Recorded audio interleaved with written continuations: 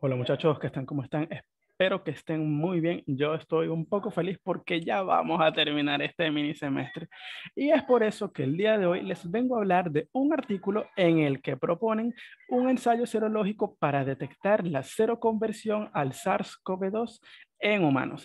Este artículo fue publicado hace año y medio en la revista Nature Medicine, ¿ok? Entonces, este es el título original del artículo. Este es el montonón de investigadores que hay. Recordemos que todo lo que tiene que ver con COVID tiene un viaje de investigadores detrás, mucha colaboración. Y estas son las, eh, instituciones a las que pertenecen. Este es el identificador digital. Y bueno, voy a apagar la cámara para que no se distraigan con mí. Entonces, muchachos, a ver, nosotros conocemos un poco acerca de este muchachito, que es el SARS-CoV-2. Él pertenece al grupo 4 de la clasificación de Baltimore, es decir, que es un virus de ARN monocatenario que se transcribe en sentido positivo. Ok. Y pertenece a la familia de los coronavirus, de la familia coronaviridae. ¿Por qué se llaman así? Bueno, porque todos estos virus eh, se recubren de una envoltura lipídica a la cual están adosadas eh, glicoproteínas de membrana. Y bueno, estas glicoproteínas son las que le dan la, la, apariencia de una coronita de como de espinas, ¿sí? Ok, cada una de estas proteínas es lo que llaman la proteína espiga, spike, espícula. Ok. Esta glicoproteína, pues está fuertemente glicosilada, tiene varias regiones, y, eh, que son estas. Y la que nos vamos a centrar aquí es en el dominio de unión al receptor, que es llamada también la región RBD, Receptor Binding Domain. Ok, este dominio se une al receptor de la enzima convertidora de angiotensina 2, que es una proteína, una enzima que está eh, expresada muy frecuentemente en las células del epitelio pulmonar, que es por donde entra como tal. Entonces, esta región de la proteína es súper, súper inmunogénica y de hecho eh, las vacunas y casi todo eso se han centrado ahí. No significa que el resto de la proteína no lo sea, pero esta es la que es más inmunogénica. Ok. Entonces, hasta la fecha, al menos hasta hoy a las 3 de la mañana, estas eran las estadísticas que marcaba el mapa de la Universidad de Johns Hopkins, que estaban haciendo el rastreo epidemiológico de cómo va la cuestión a nivel mundial. ¿sí? Bastantes casos, bastantes muertes, y bastantes más dosis de vacunas administradas en el mundo. En Venezuela es otra cuestión aparte, pero no vamos a entrar con eso aquí. Pero a ver, eh, desde el 2020 que fue que estaban este artículo, ellos comentaban que las pruebas que se emplean para seguir el, el patrón de difusión de esta enfermedad se basaban netamente en el ARN material genético de este virus, es decir, con ensayos de qPCR o RT-PCR para ver cómo era la carga viral de cada uno de los pacientes. Y. Eh, pero esto permite para los diagnósticos, pero una forma más común de detectar si los pacientes habían sido infectados o estaban infectados actualmente era con los conteos de anticuerpos, es decir, los test serológicos. Sin embargo, estaban un poco desfasados y estos son los que están de moda ahorita en el 2021 como tal. Entonces, estos test serológicos son enormemente útiles. ¿Por qué? Bueno, porque uno, permiten estudiar las posibles respuestas, en plural, del sistema inmune ante eh, estos patógenos como tal, ¿sí? Recordemos que el sistema inmune de, de cada persona es un poquito distinto y tiene muchos elementos que interactúan de formas muy interesantes. A ver, a ver, también nos permite conocer la tasa de infección, lo que permite estimar la tasa de fatalidad por la infección, es decir, saber cuántos, el, el grueso de este número, para tener una idea de cómo está progresando la epidemia en distintas poblaciones. Y además nos permite identificar individuos que produzcan muchos anticuerpos en comparación con la media, ¿sí? Para así decirles, hey, donennos un poquito de plasma para generar terapéuticos. ¿sí? Ahora, estos test serológicos son sencillos de usar, es decir, el, conteo de anticuerpos eh, se realiza con una metodología bastante sencilla. El detalle es que requiere varios días porque tiene muchos pasos de incube por 24 horas. El otro detalle es que para realizar a cabo estos procedimientos, como se tiene que trabajar generalmente con muestras vivas de del virus, eh, se tiene que realizar en laboratorios con elevados niveles de bioseguridad, es decir, de nivel 3, que son complicados de accesar y no están disponibles para todos los investigadores. Así que se pueden usar otras cosas como otros reactivos virales para intentar hacer las cosas un poco más amenas como los lentivirus o el virus de la estomatitis vesicular y eso funcionan, pero el detalle es que no son fáciles de producir. Y en el 2020, que fue donde está ambientado este artículo, eh, las cadenas de producción y de, envíos y todas esas cosas a nivel mundial estaban paradas, recordemos. Es decir, que es por ello que los investigadores decidieron proponer un método diagnóstico como tal, con un ELISA usando un antígeno recombinante como sustrato. Ya les voy a explicar un poquito de qué es esto. Entonces, todo este trabajo en general, su metodología la podemos resumir en tres partes. Uno, la creación de los constructos del dominio receptor de unión al receptor y la proteína espiga fueron expresados en células de mamífero. Si estas células son las HEK293, que son células de riñón de embrión humano, ¿sí? Que fueron transfectadas con este plásmido y también se usaron células de insectos que fueron transfectadas con un sistema del baculovirus. Hicieron muchos ELISAs con muchas condiciones que ya en la siguiente lámina les explico cómo fue. Y también evaluaron el efecto que tenía la temperatura en la detección de los anticuerpos para ver si cuando calentaban el suero eh, se desnaturalizaban los anticuerpos o no. Para ver. Ok, estos son los constructos con los que trabajaron. Este B es la proteína espiga en condiciones naturales, o sea, es decir, esta es su secuencia de aminoácidos, el estado salvaje. Aquí en amarillito está el péptido señal, que es el que indica que la proteína tiene que ir a la membrana, este es uno de los dominios. Este es el dominio de unión al receptor de la enzima convertidora en angiotensina. Este es el otro resto del dominio externo. ¿sí? Aquí tiene algo peculiar que tiene un motivo bastante básico que suele ser reconocido por proteasas celulares como la furina y que lo corta una vez. Y también aquí está el dominio transmembrana y el dominio C-terminal. Ellos, para no trabajaron con esta proteína en estado salvaje, sino que la estabilizaron para que su conformación soluble fuera, eh, se portara mejor para los ensayos. ¿sí?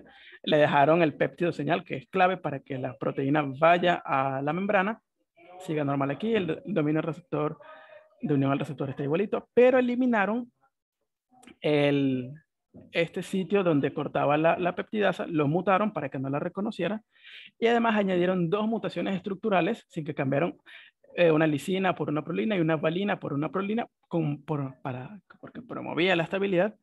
Y le añadieron ciertas modificaciones como aquí un sitio para cortar eh, con la enzima de la trombina, un una región que, fomenta la trimerización. Si recordemos que la proteína espiga forma trímeros en su conformación activa.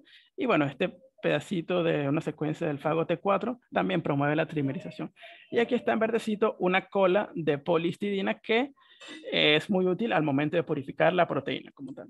Ok, el otro constructo que crearon fue netamente el dominio de unión al receptor. Sí, tiene aquí el péptido señal que indica que es excreción y aquí el dominio como tal, y aquí la colita para purificarlo. Ok. Eh, me fui.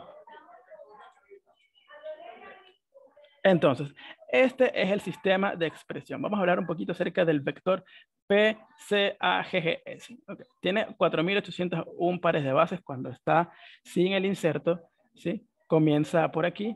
Tiene muchas secuencias de genes que se transcriben fuertemente en células eucariotas como algunos elementos virales o genes que se super transcriben, transcriben bastante, como los genes de la beta globina del conejito. Recordemos que los, las globinas pues son bastante,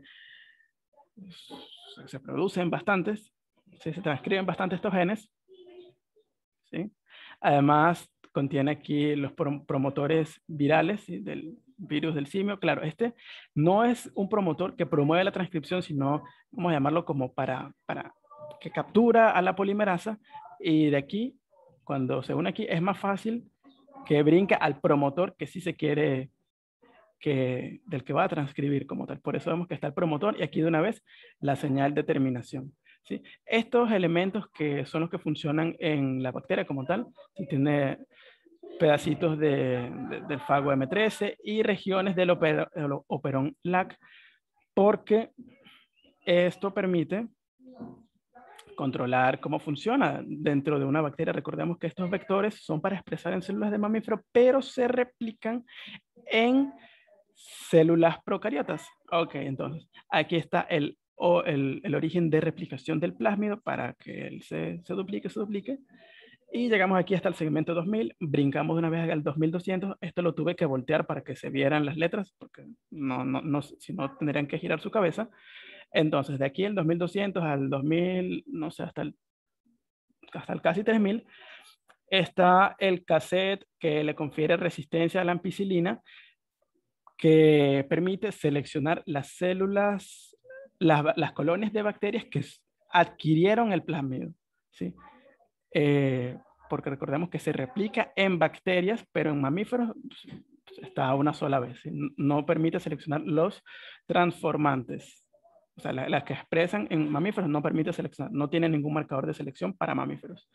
Y bueno, aquí está el promotor de la ampicilina y aquí está una secuencia potenciadora que proviene del citomegalovirus, que está fusionado a el promotor de la beta-actina de pollo. ¿Sí? Recordemos que la actina es una proteína que se expresa súper en músculo estriado y en otras partes. Y, ah, bueno, y también el citoesqueleto en general. Entonces es súper importante y se expresa bastante este gen. Y de aquí llegamos al 3, que brinca como tal. En este espacio, aquí, es la región donde se inserta el, constructo, es decir, aquí se mete la proteína spike o el, constructo del dominio RBD, sin mucho más. Entonces, este plásmido se introduce en las células eh, con, el, sistema no está muy explicado en el artículo, solamente los investigadores dicen, usamos el kit comercial Expifectamin 293, este kit de transfección de la empresa Thermo Fisher Scientific, y yo cuando revisé eh, las, notas del el manual de documentación de este reactivo, por razones obvias no dicen qué es lo que contiene, porque bueno, son secretos comerciales. ¿Sí? Ok. Eh, la selección de las células transformantes no ocurre porque este plásmido no se integra a la célula, ya que es de expresión transitoria. Él no se integra a la célula. Nunca, nunca. No es. Sin embargo, él se mete al núcleo y todo para, para para, ser transcrito, pero no se expresa. Digo, no, no, se, no se incorpora a, los cromosomas. Y las condiciones de expresión, bueno, este plásmido se expresa constitutivamente. Hay otros muy similares a este que pueden ser inducibles, pero este que ellos tenían es, se mete en la célula y empieza a expresarse de una vez. Ok. Entonces, en esta investigación ellos realizaron bastantes ELISAs. Aquí están los cinco tipos más comunes, ¿sí? Aquí voy a señalar, el que ellos emplearon fue el ELISA indirecto, en el cual tienen un antígeno que puede ser, la, en este caso, la proteína espiga o el dominio de unión al receptor de la enzima convertidora en angiotensina, al cual se le une un anticuerpo primario, que es el que ellos van a ensayar a ver si está o no en cada una de las muestras, y este anticuerpo primario se le une un anticuerpo secundario que contiene una enzima reportera, Sí, ya vamos a ver cuál es la enzima. Y la actividad de esta enzima pues cambia a un producto y se sigue la aparición o desaparición de este producto por métodos espectrofotométricos. Entonces, los anticuerpos primarios que usaron, ¿sí? usaron varios. A ver, tuvieron un control negativo en el cual emplearon varias muestras de suero humano de personas sanas, es decir, que no habían estado enfermas con COVID anteriormente, y es decir, ellos brindaban estos anticuerpos primarios según, y el, grupo experimental fueron muestras de suero de pacientes que sobrevivieron al COVID-19, ¿sí? Y evaluaron su reactividad usando el RBD, o sea, el antígeno RBD o la proteína espiga. Ellos querían ver si, cómo, si, si estaba este anticuerpo primario en cada uno de estos sitios. Ahora, los antígenos que emplearon en ambos casos fue la proteína espiga y también el dominio de unión al receptor, ambos del SARS-CoV-2. Pero a manera extra, eh, también analizaron cómo se comportaban el suero de estos controles negativos de las personas sanas ante antígenos, el antígeno, la proteína spike proveniente de los coronavirus 229E y NL63, porque estos coronavirus son de los causantes más comunes de los resfriados estacionales. Y ellos querían ver si, si estos anticuerpos podrían quizás reconocer a este, a este otro. Los anticuerpos de un coronavirus reconocer a los de otro coronavirus. Ahora, también eh, estuvieron buscando anticuerpos primarios en varios sitios.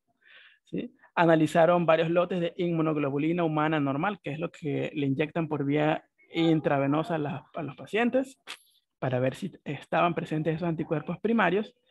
Y también analizaron muestras de suero de pacientes VIH positivos tomadas hace como 12 o 9 añitos, para ver si en esos tiempos de casualidad tenían de alguna manera eh, anticuerpos contra estos antígenos.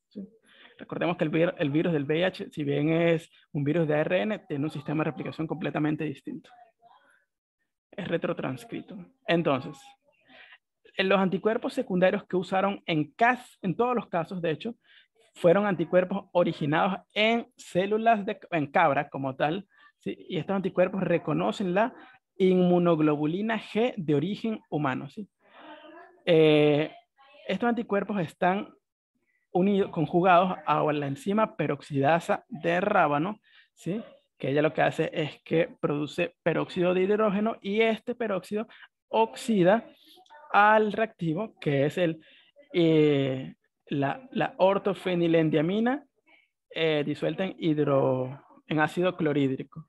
¿sí? Este compuesto absorbe a 490 nanómetros, que eso es como más o menos color azul. ¿sí?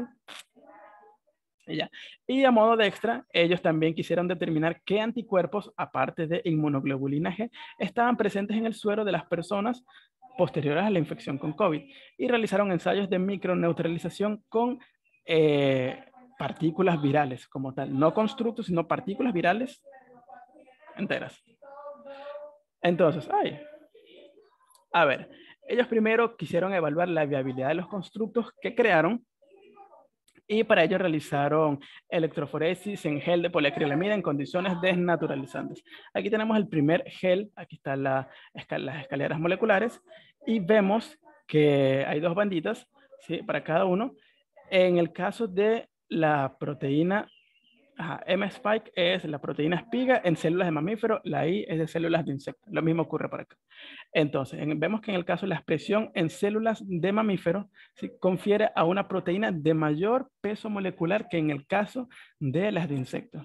Los investigadores ellos dicen que seguramente esto se deba al distinto patrón de glicosilación que sufre la proteína en las células de insectos. ¿sí? Y bueno, las otras banditas quizás se deba a una proteína truncada. En el caso del dominio receptor, de unión al receptor, vemos el mismo patrón. Es más pesado la que se expresa en células de mamífero. Ok. Ah, bueno. Y ellos aquí verifican si tiene sentido o no, porque como ellos conocen la secuencia, la estructura primaria de la proteína spike y del RBD, entonces pueden intuir más o menos dónde va a estar según su peso molecular. Entonces, ellos también analizaron la reactividad de los sueros a distintos antígenos. Esta va a ser la parte 1. Okay, aquí en esta lámina tenemos varias grafiquitas. ¿sí? Vamos a comenzar con lo de arriba. Aquí tenemos eh, solamente el constructo del dominio de unión al receptor, ¿sí? expresado en células de insecto, y vemos que hay en el caso de las muestras control, los pacientes que estaban sanos, no hay señal. ¿sí? En el caso verde, un paciente, pacientes que estaban enfermos con, con otros coronavirus ¿sí? en el pasado, no hay señal de reactividad de anticuerpos, pero sí se observa señal en todos los casos en las muestras que provienen de pacientes eh, que atravesaron el eh, COVID-19 como tal. ¿sí? Eh, algo interesante que podemos ver aquí es que hay menor, en ambos casos hay menor reactividad, es decir, hay menor cantidad de anticuerpos como tal, así menor respuesta en las células de insecto en comparación con las respuestas de las células de mamíferos. Y algo aún más interesante que podemos ver es que en ambos casos la respuesta es mayor para las células de donde se expresó el constructo de la proteína espiga entera que de la del dominio de unión al receptor. Ellos explican que puede verse a que la proteína espiga es más grande y tiene mayor cantidad de epítopos y por ende mayor cantidad de anticuerpos pueden interactuar con ella. Que la región RBD, que bueno, no, no tiene menor superficie. Ok, entonces aquí en esta parte 2 tenemos los mismos gráficos de la lámina, los mismos datos de las gráficas anteriores, pero graficados de una manera distinta para poder ver de manera más gráfica qué es lo que pasa. A ver, aquí tenemos, las rayitas son las medias geométricas y eh, lo que hicieron fue test de, ¿cómo se llama esto? Test de TED Student, ¿sí? para verificar si habían diferencias entre las medias de cada una de estas. Y observamos que la respuesta, mira, aquí la respuesta de las muestras de pacientes con COVID fue como de 150, vamos a decirlo aquí, y la de los pacientes control 9, es decir, cerca de 15 veces más señal de los anticuerpos presentes en estos pacientes. ¿sí? En ambos casos se observa el mismo, una misma, esta misma tendencia, ¿sí? que hay más reactividad, obviamente, en los pacientes posteriores al COVID que en, las, que en los pacientes sanos. Pero algo súper eh, más interesante es que este mismo patrón se exacerba en las células que expresan la proteína espiga entera. ¿sí? Vemos que aquí ahora está como casi llegando al 800 y aquí estaba en 150. ¿sí? Esto se debe nuevamente a lo que comentaba que la proteína espiga es mucho más grande, por ende contiene más epítopos que el dominio RBD. Entonces, para ellos verificar que las infecciones previas con otros coronavirus que causan gripe no estaban afectando a la capacidad de reconocer los antígenos, es decir, no estaban generando ruido, también probaron esto. ¿sí? Ellos analizaron el suero de los 50 pacientes sanos contra antígenos o sea, las proteínas espigas de cada uno de estos coronavirus y vieron que sí había respuesta, es decir, contenían anticuerpos contra estos virus, pero no contra el SARS-CoV-2. Y bueno, aquí vemos que conforme aumenta la dilución, disminuye la reactividad, lo cual tiene mucho sentido. Y aquí vemos un análisis de correlación en el cual grafican las concentraciones de inhibición del virus con, junto con el título de anticuerpos contra la proteína espiga en células de mamíferos. Y vemos que hay una fuerte correlación positiva, ¿sí? de hecho la, señalan como súper significativa, con un R de 0.9279, casi una línea recta. Entonces, aquí ellos querían probar si las muestras de inmunoglobulina normal de humanos que suelen eh, aplicarse de manera intravenosa a los pacientes, ¿sí? por X o Y motivos, cuando están hospitalizados, de casualidad contenían eh, anticuerpos contra el SARS-CoV-2. ¿Sí? Y aquí lo que hicieron, bueno, aquí nuevamente los ELISAs con cada uno de estos antígenos, la proteína, el dominio RBD o la proteína espiga, ¿sí? Con, obviamente, expresados en células de mamíferos para que tengan las, el patrón de glicosilación adecuado y reconozcan los anticuerpos que tienen que hacer, ¿sí? Ok, aquí están probando eh, aquí rojo es el control positivo, que es un anticuerpo monoclonal CR3022 que él reconoce una nucleoproteína del, del COVID como del SARS-CoV-2. Es decir, que él va a dar positivo, es el único que da positivo, mientras que las otras muestras como las de estas inmunoglobulinas, ¿sí? estas muestras de inmunoglobulinas no producen ninguna señal, ni tampoco los controles negativos de anticuerpos. Ahora, en este último caso extra, ellos quisieron ver si en muestras que tenían 12 a 9 años de provenientes de pacientes de VIH positivos, quizás existían anticuerpos porque, bueno, ellos pensaron, oye, el virus del VIH es es de ARN, el, del SARS-CoV-2 también es ARN, ¿será que es algo por ahí convergente? Bueno, para, para verificar de casualidad, hicieron estos análisis nuevamente y encontraron que la única señal que había provenía del control positivo, que era el del anticuerpo monoclonal. En el resto de las muestras del serum de pacientes con VIH positivos, cero respuesta ante los antígenos del SARS-CoV-2. Ok, entonces ellos también quisieron analizar el efecto que tiene la temperatura en la viabilidad de los anticuerpos presentes en el plasma. ¿Por qué? Bueno, porque muchas de las muestras del plasma antes de ser utilizadas deben de ser calentadas, ¿sí? Como a 56 grados para inactivar todo lo que sea que pueda que estar ahí, para que no sean nocivas para el que las está manejando. Entonces, aquí hay varios ensayos, ¿sí? Los evaluaron con pruebas de TED Student, comparaciones así de medias, y vamos a hablar de poquito en poquito cada uno. aquí tenemos un ensayo, ensayos con los que trabajaron con los antígenos RBD y Spike de células de, mamíferos, nuevamente, ¿sí? y hubo dos tratamientos. Eh, el suero sin calentar y el suero calentado, y ven que no eh, reportar, no consiguieron diferencias significativas entre los valores de reactividad. ¿sí? Lo mismo ocurre aquí con el antígeno de la proteína spike entera, no hay diferencias. Ahora, en este caso, es el ensayo súper similar, solo que ahora tomaron cero, suero y plasma. Legalmente no conozco la diferencia, así que me disculpo. Eh, y ambos los calentaron a ver si había alguna diferencia y nuevamente obtuvieron que no habían diferencias significativas entre las medias de ambos conjuntos de datos. Por ende, no, las diferencias que hay solo se atribuyen al azar. Ok, ellos hicieron análisis extra porque querían saber qué anticuerpos estaban presentes en los sueros de los pacientes posteriores a la infección con SARS-CoV-2, es decir, hacer un isotipado. Y lo que encontraron es que, ah, bueno, y para ello usaron anticuerpos secundarios que reconocían a cada uno de estos tipos, para distintos ELISAs. Entonces, ellos encontraron que hubo una fuerte reactividad en todas las muestras de las inmunoglobulinas G3, si vemos cómo está aquí la rayita roja, que es la media, ¿sí? De la inmunoglobulina M y de la inmunoglobulina A.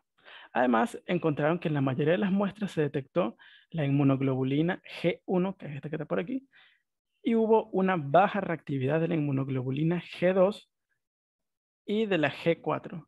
yo sé que aquí parece que hay tres, pero es que están los puntos solapados.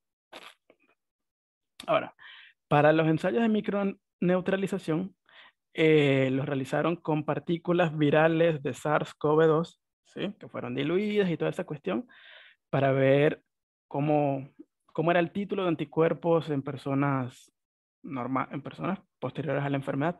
En estos controles negativos eh, encontraron que no había ninguna capacidad de neutralización del virus, mientras que la de los pacientes que sí habían sido infectados con SARS-CoV-2 ese título de anticuerpos sí iba disminuyendo, o sea, su capacidad de proteger contra el SARS-CoV-2 iba disminuyendo conforme se incrementaba la dilución, lo cual tiene mucho sentido.